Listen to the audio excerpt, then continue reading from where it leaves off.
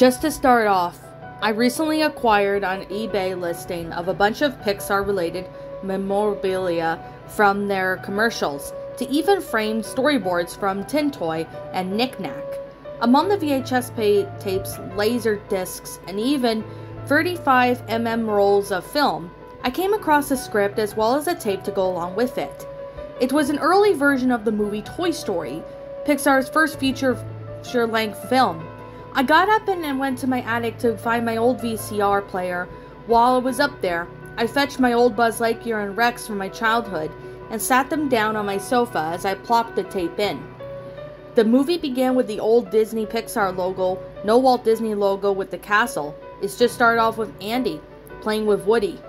Woody was bigger and a bit fatter than his final original design, as he was about the same size as Chucky in the Child's Play movies. Andy pulls out a toy gun from Woody's holster and he made the cowboy shoot up a pellet at Mr. Potato Head. Andy then pulls Woody's string and said, You have saved the day again, cowpoke. Woody's phrase wasn't like the normal one. It was giddy up, deputy, yee haw, instead of you're my favorite deputy. Andy walks around with Woody before violently throws at the doll on top of his bed. Woody sprang to life and hosted a staff meeting. Characters like Bullseye and Zurg were already present. I checked the script. There was no Jessie. Instead, she was replaced by a character called Senorita Cactus. There was also a mention of a character called Dino Rider, which I assume was an early version of Rex. Woody continued his speech as it cut to a scene of Andy unwrapping Buzz, who in the script was called Tempus from Morph. Andy was alone in his party with the exception of Sid. I picked up the script, and Sid's description mentioned him as being Andy's 15 year old babysitter. Andy's mother, whose name was Hannah in the script, helped Andy unbox Buzz as Andy eagerly began flying Buzz around the room. The screen then cut to when Woody pushes Buzz out of the window. I checked the script and the scene was missing with the scene itself. Was Buzz showing off to the other toys, and Woody being an asshole to Slinky. Woody was offered a handshake by Buzz, and the cowboy instead threw him out of the window, and the rest of Andy's toys proceeded to throw Woody out with him. The scene then changed to Andy playing with Woody and Buzz in his room, when all of a sudden he stops and he lifts the toys up and runs into the baby's sister near the stairs. Andy grabs Molly and threw her down the stairs, and the camera violently jolted as the scene of Al's toy barn in the store Instead of the shopping center filled with Pizza Planet, various food courts, and lastly a toy store, it zoomed in on towards the toy store. On the shelves were Furby, a Transformer, and lastly a Tickle Me Elmo. The camera changed to Andy, throwing Woody and Buzz on the grass of his yard. Andy appeared more older looking than his design in Toy Story 3. He stomped Buzz and cracking his chest before grabbing Woody and scribbling black marker on his right eye. He pulled out a hammer and shattered Buzz's helmet, then before throwing the toys into the road. Andy walked back inside his home as Woody and Buzz jolted back alive. Woody was about to run to his house before Buzz, then pointed towards the car coming. It then cut to a shot of Sid using the shards of Buzz's helmet to cut into Woody's stomach, uh, exposing the stuffing and voice box. I checked the script. I only had half a meaning of it when it stopped.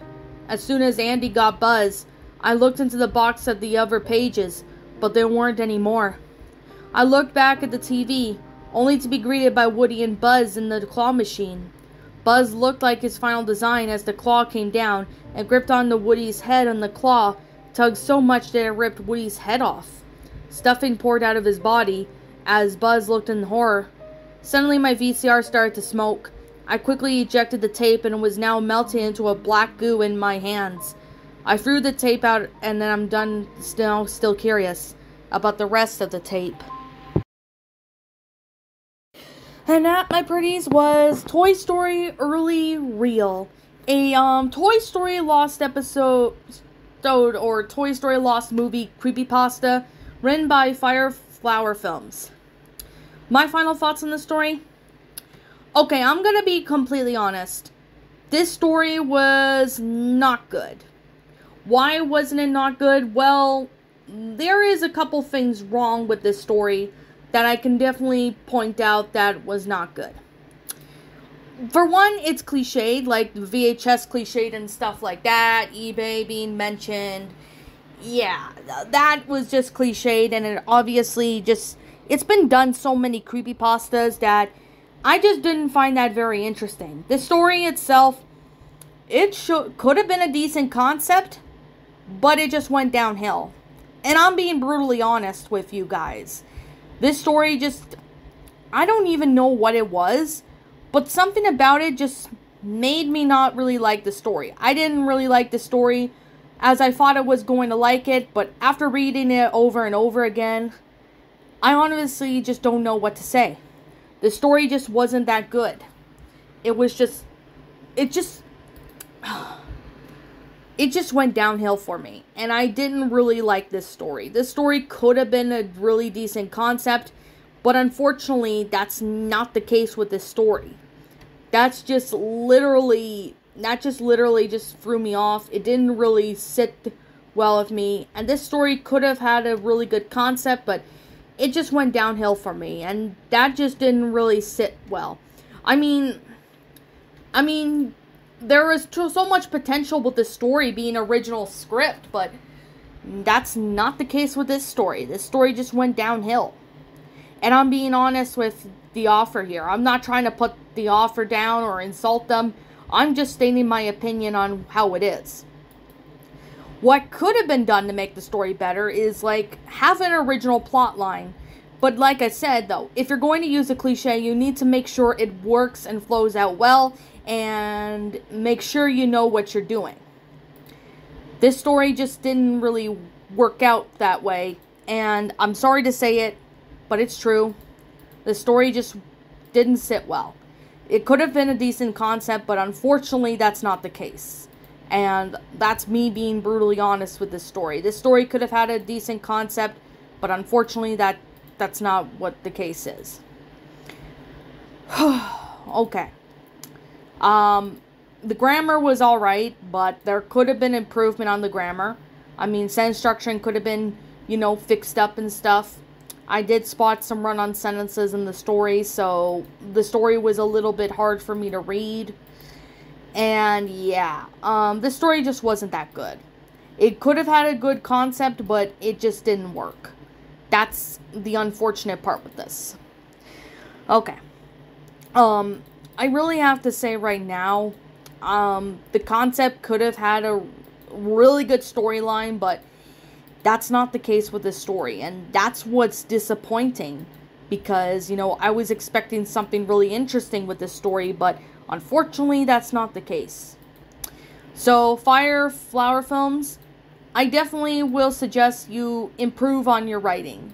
I mean, I know this isn't the best story you've did or whatever, but hey, I mean, I'm learning too. I mean, there are some stories I've wrote that are not that good, but I've improved from, you know, my writing and I'm doing hell of a lot better.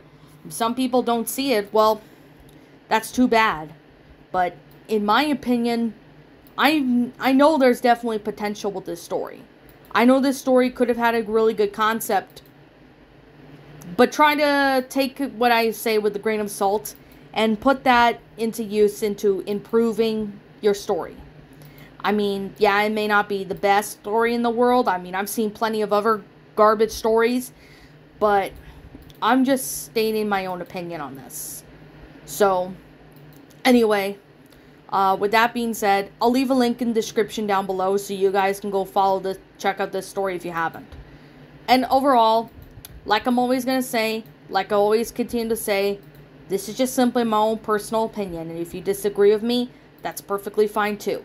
We're all entitled to our own opinions regards to these stories. This is just simply my own personal thoughts. I'm gonna give this story a um a four out of ten. It had a really decent concept and it seemed really interesting too, but it just didn't really work out. There was cliches, it just didn't sit well with me. The grammar could be improved, and same with the sentence structuring, etc. I mean, this story could have had a good concept, but unfortunately, that's not the case. And that's really disappointing what I have to say about this story. So I'm hoping, uh, offer you take this as a grain of salt and hope you do better with your stories in the future.